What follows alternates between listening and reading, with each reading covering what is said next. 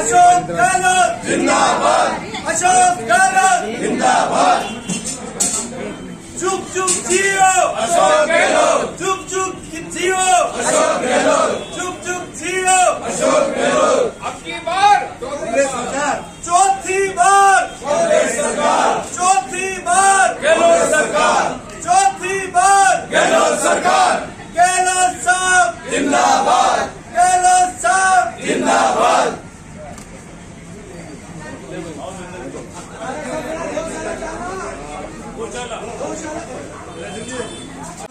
हमारे यशस्वी मुख्यमंत्री अशोक गहलोत साहब का तिहत्तरवां जन्मदिन है और आज हम सभी कांग्रेस जन शहर के ग्रामीण क्षेत्र में पूरी हर्षोल्लास के साथ उनका जन्मदिन मना रहे हैं।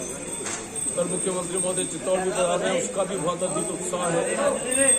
और इस बार हमने एक अनूठा आयोजन, इंदिरा रसोई जो मुख्यमंत्री जी की एक बहुत बड़ी अपनी योजना है पूरे देश में ऐसी योजना नहीं है। आठ रुपए में गरीब को भरपूर भरपूर भोजन। वहाँ सब जगह हम लोगों ने इंदिरा रसोई नो इंदिरा रसोई संचालित है शहर के अंदर। सब जगह आज निःशुल्क भोजन की व्यवस्था मुख्यमंत्री जी के जन्मदिन के उपलक्ष्य की और मिठाई का भी वितरण हम लोगों ने सबने किया है। आज गौशाला में गायों, जो मुख्यमंत्री महोदय ने गौशालाओं के लिए सर्वाधिक अनुदान देने वाला हमारा राजस्थान का पहला राज्य है पूरे देश के अंदर।